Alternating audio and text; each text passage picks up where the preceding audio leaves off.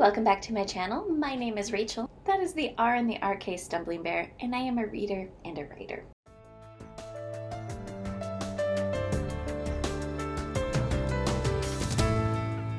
And I'm back with my September wrap up. I finished seven things, and five of them were manga, so we're just gonna jump in with those. I finished volumes 16, 17, 18, 19, and 20 of Komi Can't Communicate. This is a contemporary manga where the main character has a communication disorder and has the goal to make 100 friends. And it's just going through high school as she is trying to do that. I think at this point she has made 44. Yeah, so 66 more to go is, um, is what I remember they said. I'm just bad with math. It's a very sweet manga, very much about friendships and like the variety of friendships.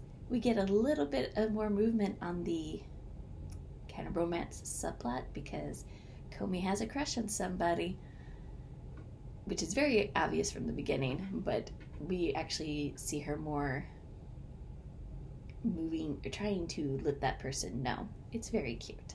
But the first thing I finished in the month of September was the short story anthology New Adventures in Space Opera by or edited by Jonathan Strahan. And this is published by Tachyon. I was very excited because it's like new adventures in space opera. Okay, and then I'm reading these. It's a lot of it is well known. No, all of the authors in this collection are well known names, and I'm like, it came out in 2024. Perfect. I can, you know, nominate these stories for the Hugos. And then when I was, somebody made a comment on the spreadsheet, and it's like, I think this is actually published earlier. Come to find out, all the short stories in this collection have been published previously. And then, based off of the editorial note in the beginning, I was kind of disappointed about that. Because they go into the history of how space opera has changed, and how space opera tends to be very much a commentary on social issues and political issues. Space opera is changing for the future, and so I expected things to be more recent. And I think the most recent short story was published in 2023 and then the oldest was i think 2012 i pretty much loved all of the short stories in this collection and i actually do want a copy of this for myself because there's several that i i know i want to go back and revisit. I kind of wish that we had had some short stories that were actually cultivated for this anthology that were new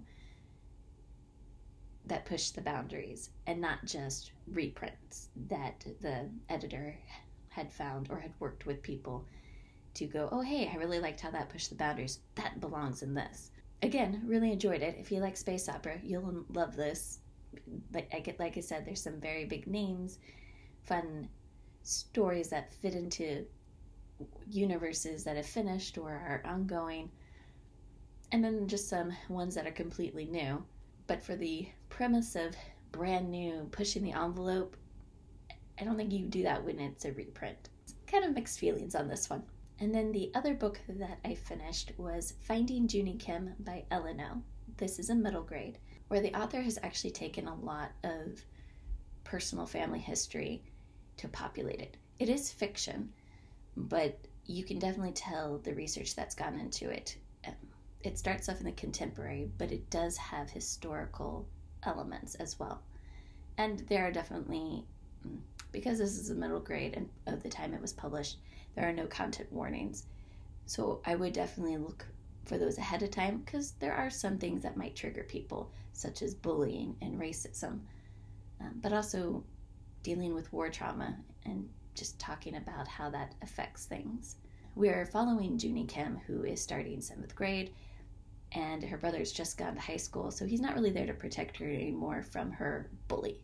On the first day of school, they go and find out that somebody has vandalized the gym and written a whole bunch of racist comments, which has only been like inflaming other racism that the character, main character, and her friends have been receiving from other students, whether microaggressions or just outright racism.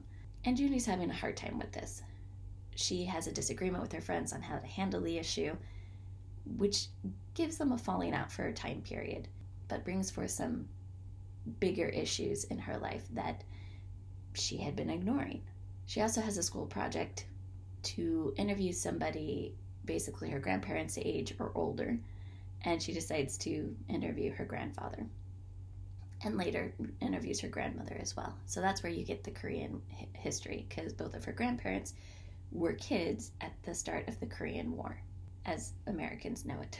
Something I love about this is even though we're talking about heavy topics, and like I said, there are definitely trauma triggers in this book. Junie does have a very supportive friendship group, and her family is insanely supportive. Even that older brother, and if you have a sibling, you know, they're not always the nicest, but this really is a, a tight knit, close family. And I love that Eleanor, even with dealing with topics that are very heavy, is able to tie in joy that can come along with just living life. This is definitely something that I think all middle schoolers and all adults should read. But definitely, your middle schooler needs to be a little more mature, and that's up to the parents to figure out. But that is my wrap up.